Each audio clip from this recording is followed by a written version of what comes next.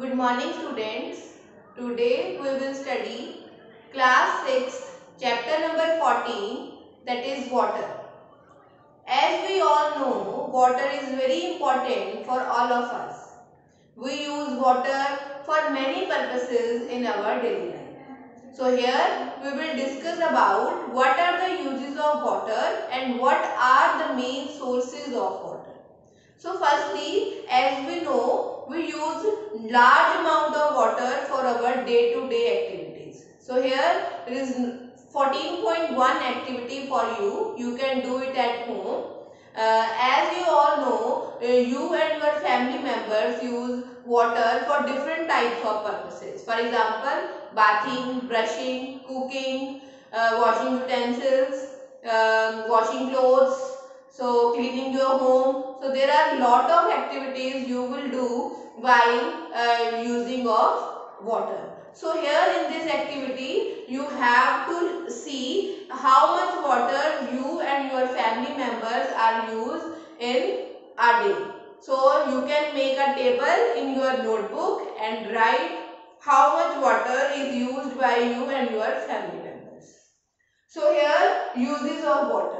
So drinking is the main use of water that all we use. So we can't live or can't stay without the water. So water is very important for all of us. So number one, it is used for daily activities such as cleaning, drinking, bathing, brushing, etc.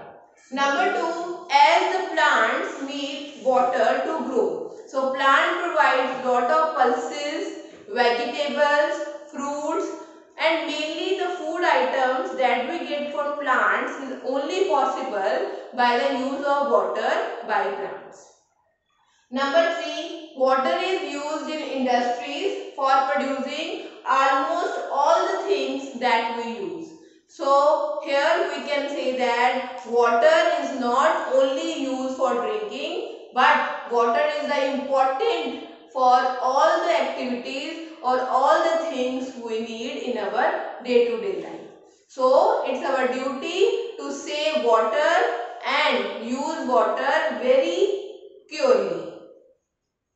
So next is sources of water.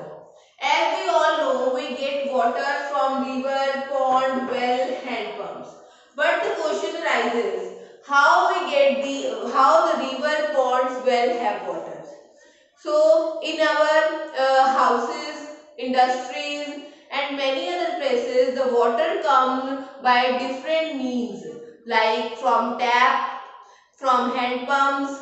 So here the in tap water uh, from our uh, in our taps the water comes by the hand pumps to pipes. So from uh, river, pond, well, hand pump, tap, how we get water?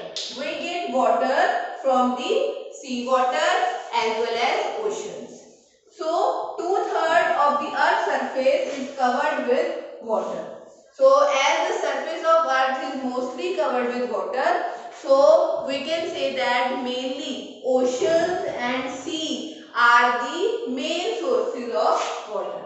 So oceans and sea are the main sources of water through which we get maximum of the water.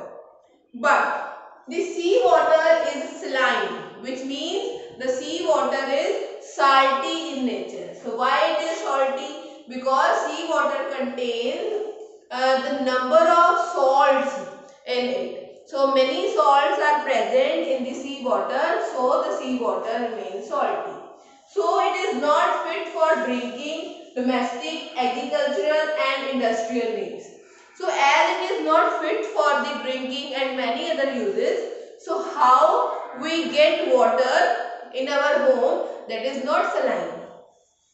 As some people are living away from the seashores or oceans, the water comes to their house is not salty at all. It is fit for drinking. So how they get water?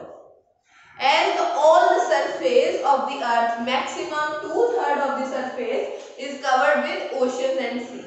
So a scientist that is H.T. Coleridge write in his poem in his Rime of ancient mariner, water, water everywhere, nor any drop to drink.